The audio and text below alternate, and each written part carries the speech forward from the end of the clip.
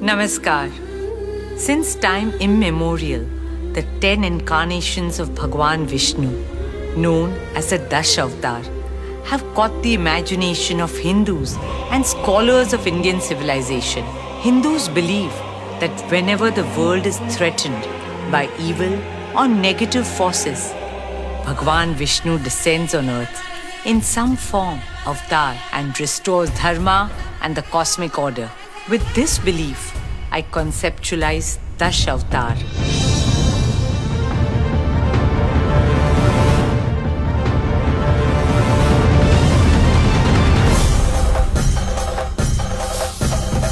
Dash Avatar has been envisioned as a tribute to India's spiritual heritage as a part of Anant and Radhika's wedding. I invite people from Mumbai and all over India to come and enjoy this once in a lifetime experience at the Nita Mukesh Ambani Cultural Center.